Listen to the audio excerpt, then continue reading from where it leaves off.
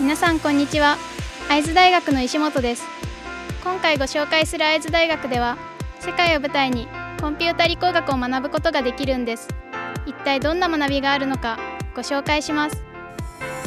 会津大学は日本で最初のコンピュータ理工学専門の大学です。さまざまな OS のワークステーションが全学生数の2.5倍の約3000台もあり24時間利用できる演習室もあります。また5つの専門領域のカリキュラムが導入されているため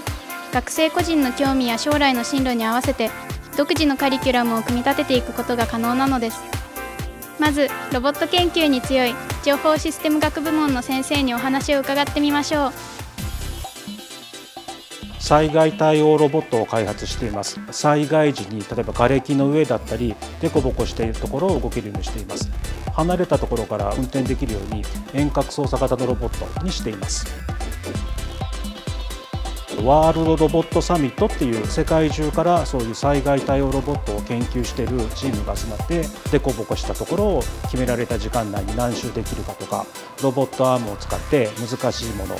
取れるかとかそういう総合的なコンテストについこの間あの参加してきました。とうとう僕たちのチーム世界3位に入賞しました。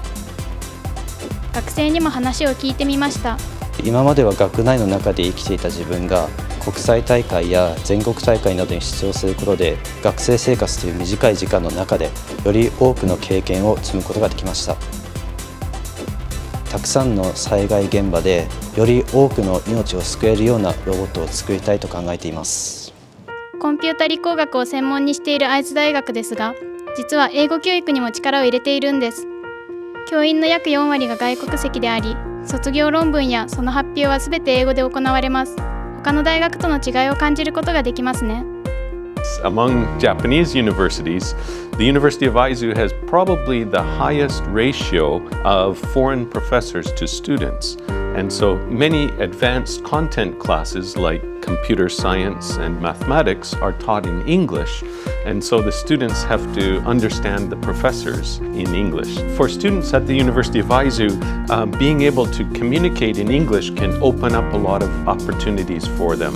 um, after they graduate. It can also help, for example, with job hunting, with international business trips, or with uh, promotions in their companies after when they are working.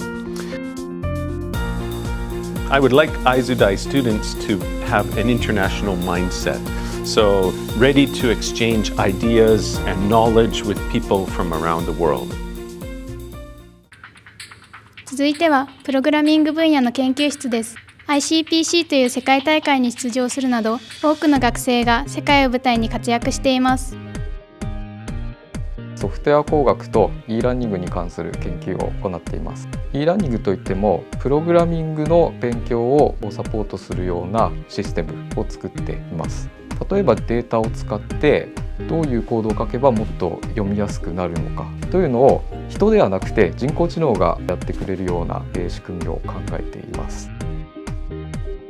プログラミングが非常に強い大学だと思います。ICPC っていう国際大学対抗プログラミングコンテストで毎年アジア地区大会に進出してこれまでに4回世界大会に出場しています。もう一つは会津大学ではパソコン甲子園っていう日本の高校の中でどこがプログラミング一番強いか決めるためのプログラミング大会を単独で毎年やってるんです。こんなことできる大学って会津大学以外にないんですよ。学生にも話を聞いてみましょう。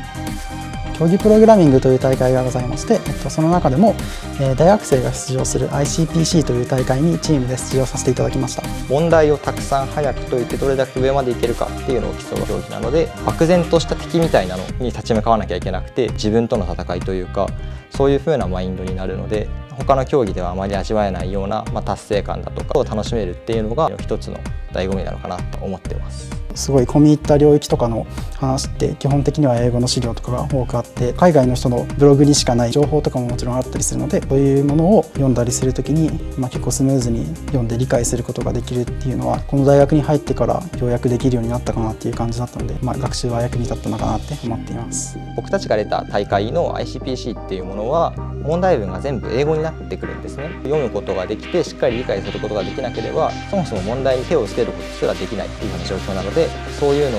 に対しても役立つっていうのがあるのかなっていうふうに思ってますね。いかがでしたか？